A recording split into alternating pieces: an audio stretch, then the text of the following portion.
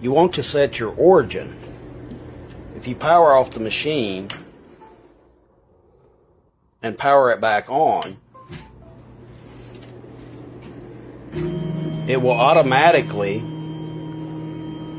go to the homing position.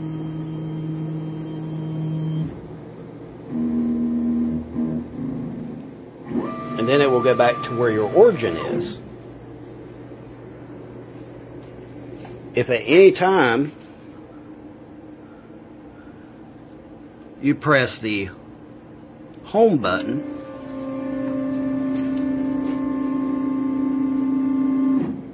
it will go back to its home position.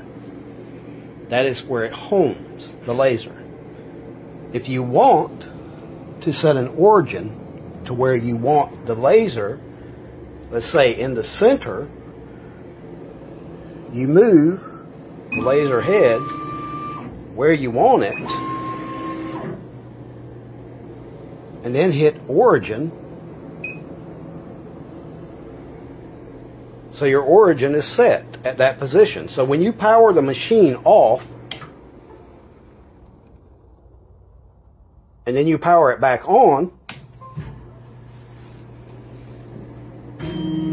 it will do its homing to the right, upper right.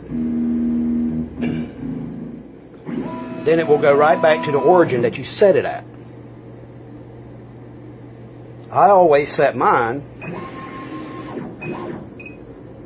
at the upper left and set my origin. Then when I turn it off and I turn it back on,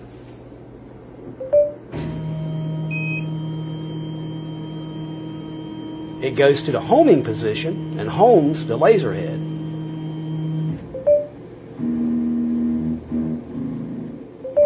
Then it will go back to the origin where I set it at.